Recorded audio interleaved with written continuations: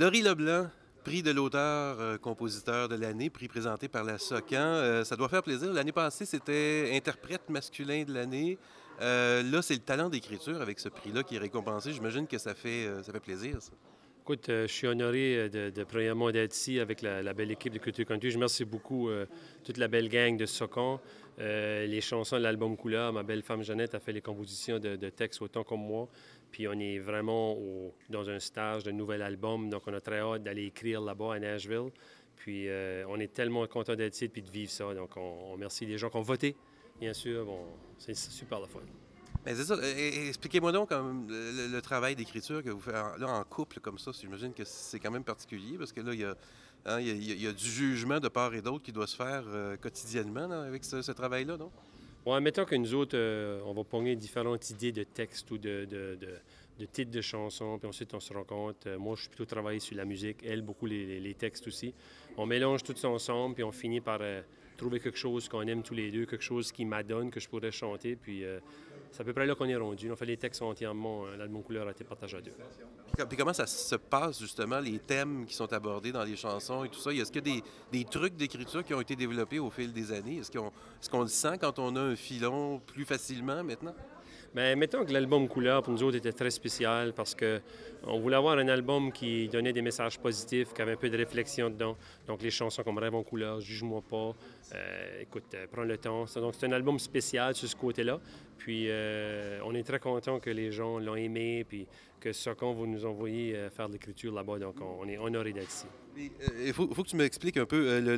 tu as remporté le prix de l'artiste country masculin de l'année au 5e Josie Music Awards au, Tennessee. Moi, je, personnellement, je ne connais pas cet, événement-là, mais ça me semble assez impressionnant comme, comme, comme accomplissement de ton côté. C'est juste on, avait une coupe de tunes qu'on a lancée l'année passée à travers du Canada, Go Go puis Never Stop Dreaming. Puis on a vu qu'il y avait un gala qui existait, qui était un genre de gala international aux artistes indépendants qui n'ont pas de label ou qui ne signent pas de label. Puis on a, soumis nos deux chansons, puis on a été honoré d'aller vivre l'expérience là-bas puis d'avoir remporté ça. Donc c'est tellement spécial de vivre là-bas à Tennessee. Euh, j'étais content de représenter l'Acadie, le Nouveau-Brunswick. En même temps, le timing est tellement idéal avec l'album anglais qui s'en vient en mars 2020 on l'essaye, l'anglais. J'ai grandi en écoutant de l'anglais. Puis on va essayer d'ajouter euh, peut-être un autre marché à ce qu'on fait de suite. Donc on, dit merci aux Josies puis tous les gens qui nous supportent tout le temps. Ben oui, c'est une belle introduction. Vous avez, euh, j'imagine, reçu des, commentaires, une belle réception. Ça, encourage, j'imagine, le fait d'y aller, de se lancer en anglais.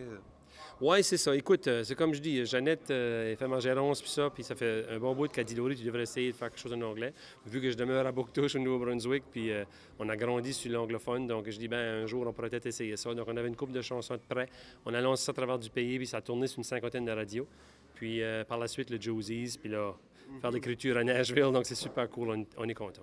Et en terminant, j'aimerais ça que tu m'expliques un peu parce que quand, les, gens qui sont pas dans le milieu de la musique country, on entend parler du country régulièrement, année après année, tout ça, mais en ce moment, euh, il est comment le milieu country, euh, la, scène country? Est-ce qu'elle se porte bien? Est-ce que euh, est-ce qu'il y a beaucoup de dynamisme ou, ou, peut-être qu'il y a un ralentissement? Je ne sais pas. Où est-ce qu'on en est?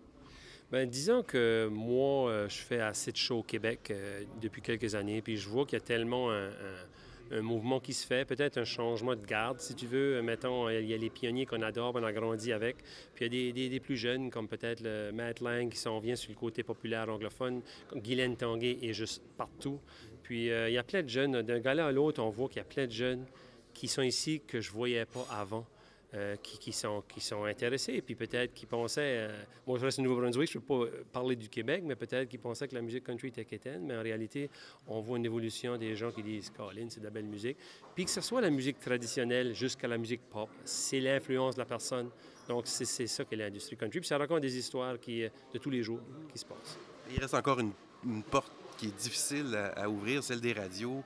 là, dans, dans, la scène rap et pop, ils ont réussi à faire une percée dans les deux dernières années. Euh, c'est pour quand le, country et la radio commerciale euh, un peu partout? Bien, disons, mon francophone tourne beaucoup communautairement, tourne un peu commercialement.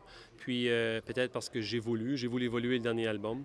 Euh, puis bien sûr, euh, ça c'est une question de goût quand on veut évoluer aussi. Mon album anglophone qui s'en vient a tourné sur une cinquantaine de radios. Euh, c'est un genre de, musique qui, me ressemble, mais avec un twist moderne.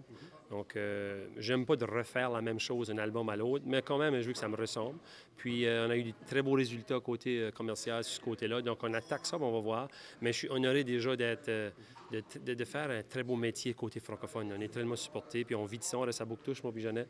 Euh, donc, on est honoré d'être ici ce soir. Bien, félicitations encore et euh, bonne chance pour la suite. Merci à Socon, merci aux gens qui ont voté, puis euh, bonne soirée à vous autres. Merci. OK, cool.